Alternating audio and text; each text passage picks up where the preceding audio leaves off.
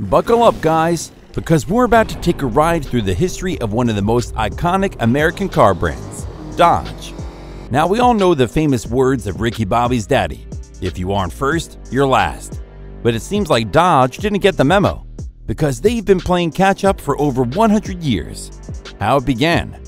It all started with the Challenger, which didn't hit the scene until well after the Mustang and Camaro had already stolen the spotlight. But Dodge didn't let that slow them down. They took the Challenger and made it their own, giving it a bold, muscular design that turned heads wherever it went. But just when it seemed like Dodge was getting a foothold in the pony car market, the production life of the Challenger was cut short.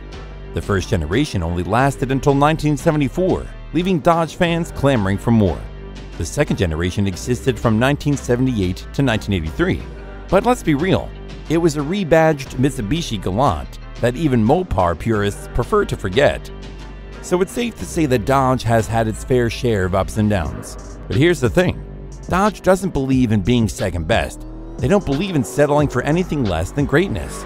And that's why they keep pushing the limits, creating cars that are faster, stronger, and more impressive than anything that came before. So let the Mustangs and Camaros have their moment in the sun. Because when it comes to Dodge, they know that they're not just in a race, they're in a battle. And they're not going to stop until they come out on top. In 2008, the Challenger was given a new look with the retro style and modern Hemi V8 engine. At first, it was able to compete with other similarly themed Camaros and Mustangs. However, Dodge eventually fell behind as Chevy and Ford continued to improve and modernize their machines. With the Challenger at risk of being left behind, Dodge changed its approach and emphasized its legacy by prioritizing big horsepower and fast quarter mile times, which were more traditional measures of performance. The wild world of Hellraisers.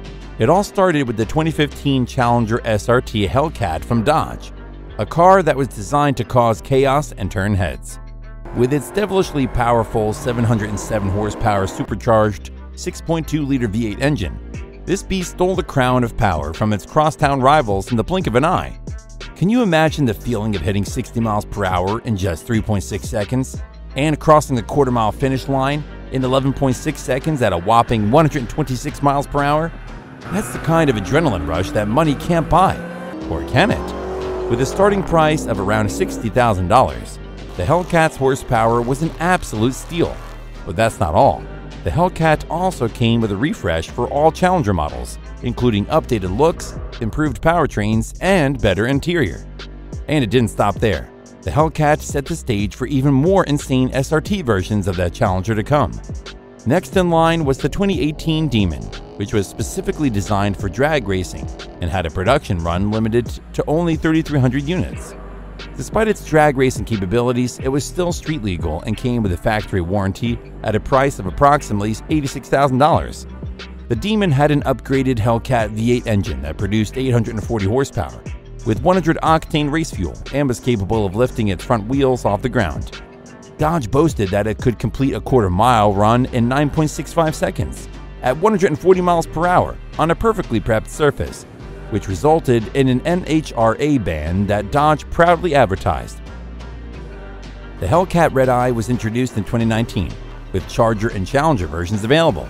While it shared some parts with the Demon's engine, its horsepower was capped at 797 due to its inability to run on race fuel and reduced airflow. The Challenger version was tested, which could reach 60 miles per hour in 3.6 seconds and complete a quarter mile run in 11.8 seconds at 125 miles per hour. However, these numbers were similar to those of non red eye models that were $11,000 cheaper, demonstrating the limitations of tires. In 2020, Dodge launched the Superstock, which had an output of 807 horsepower and was essentially a reincarnation of the Demon, minus some features like the transmission brake and race fuel tune. It was equipped with four 315 section width Nitto NTO 5R drag radials and a rear load transfer suspension. The Superstock was priced at $82,790 and could allegedly complete a quarter mile run in 10.5 seconds at 131 miles per hour on a prep surface, according to Dodge. Jumping ahead to 2023, Dodge enthusiasts are bracing themselves for the end of an era as the brand's period of excess draws to a close. Regrettably, The Hellcat V8 will soon retire after almost a decade of impressive performance in countless Chargers and Challengers. In addition, both models will cease production this year to pave the way for electric muscle cars. Throughout the final farewell, Dodge has bid farewell to its beloved beasts with a series of special edition last call models, consisting of seven parts that kicked off last August. The seventh and last car has now been unveiled, and it's the most insane street legal machine ever to roll out of the SRT lab. Not only is it daring, but it's also a symbolic gesture of defiance to detractors who have criticized Dodge's Hellcats for being one dimensional. It's 1025 horsepower. Dodge has done it again with their latest muscle car masterpiece, the 2023 Challenger SRT Demon 170. This bad boy has a mind boggling 1,025 horsepower and 945 pound feet of torque. Yeah, you heard that right. To unlock its full potential, you gotta feed it E85 gasoline. But even on regular gas, it's still a beast with 900 horsepower and 810 pound feet of torque. And boy, does this car have personality. The hood scoop proudly declares that it's alcohol injected, and the exhaust sound will make your hair stand on end. Plus, it's not afraid to show off doing wheelies and rocking a parachute like a boss. But let's get to the numbers, shall we? According to Dodge, the Demon 170 can hit 60 miles per hour in just 1.66 seconds and finish a quarter mile run in 8.91 seconds at 151 miles per hour on a fully prepped surface, mind you. So, yeah, it's not going to be that fast on the street, but who cares? This car is a dream come true for speed freaks everywhere. Known for its hardware, Dodge CEO Tim Kuniskis spilled the beans to a group of auto journalists a few weeks back, revealing that the development of the Demon 170 wasn't all smooth sailing.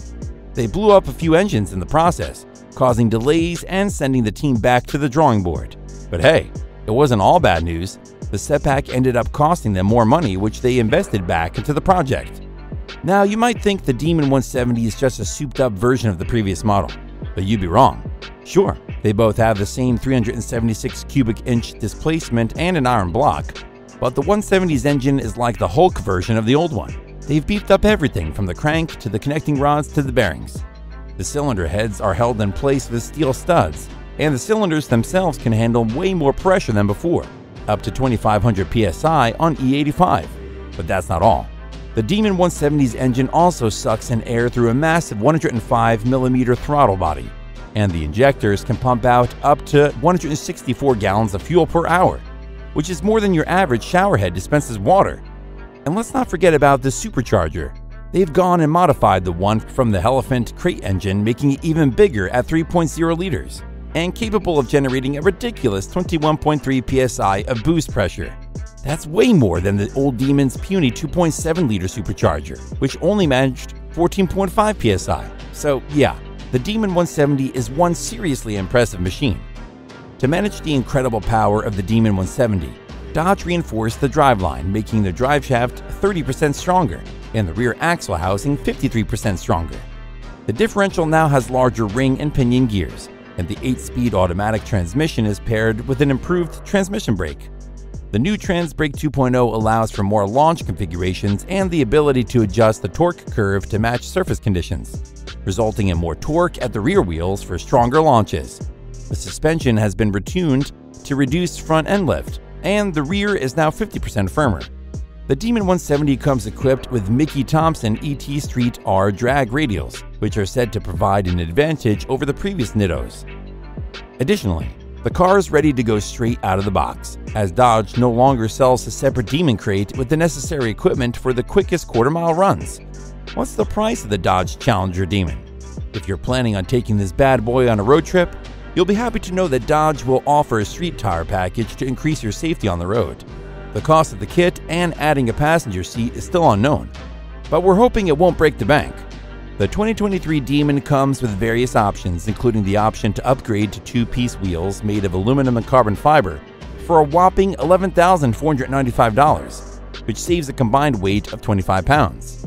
Dodge also got rid of the old Demon's front fender flares, resulting in a weight loss of 16 pounds for all 170 models. The new car weighs about the same as the old model, with a claimed weight of 4,275 pounds.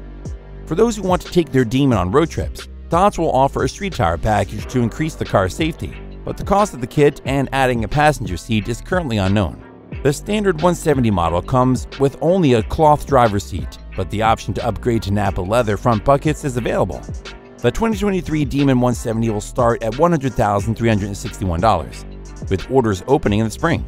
Production will be limited, with Dodge aiming to build up to 3,000 copies for the US and 300 for Canada between July and December 31.